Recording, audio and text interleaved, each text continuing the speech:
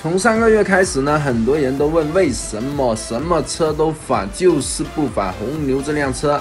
呃，现在呢，如你们所愿，昨晚飞车正式官宣，红牛、蓝牛、双生战神、赤魂幽灵、极夜幽冥，通通返场。这下是终于满足之前一直想要红牛返场的小伙伴了。那此次返场呢，氪金车在九月二十号开始以梦工厂的形式返场，而极夜幽冥呢，则在九月二十一号以原方式礼包券形式返场。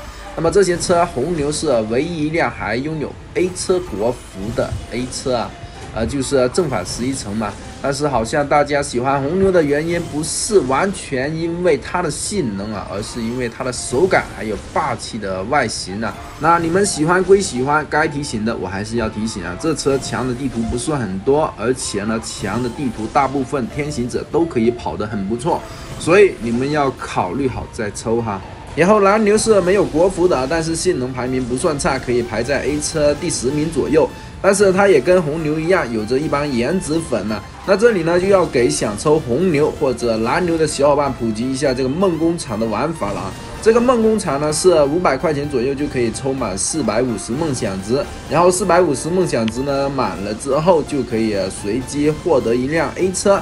那其次呢，五百块钱抽到的道具还可以兑换四百左右的碎片，买六百碎片呢就可以兑换一辆你想要的 A 车。所以呢，这个模式几乎相当于买二送一，也就是一千块可以获得三辆 A 车。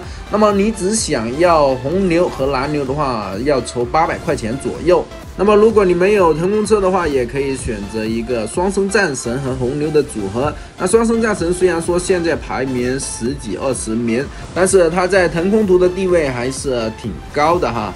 好的，以上呢，这是我个人的看法和建议啊。最后呢，再次提醒大家一句啊，这些车只适合有钱人去搞。如果你不是为了收藏的话，那么这些车很可能啊，你玩完就腻了。那本期视频就先到这里啊，谢谢大家收看，喜欢的可以关注、点赞、投币支持一下。